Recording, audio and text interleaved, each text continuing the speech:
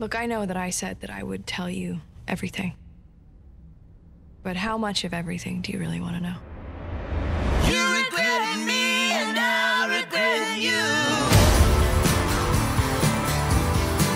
You couldn't handle your liquor and you can't see the end of the truth. You write songs about who you wish you were, not who you are. What if he wrote songs about the guy that maybe wants things that he shouldn't? Who'd want to hear a song about that? I think everybody would.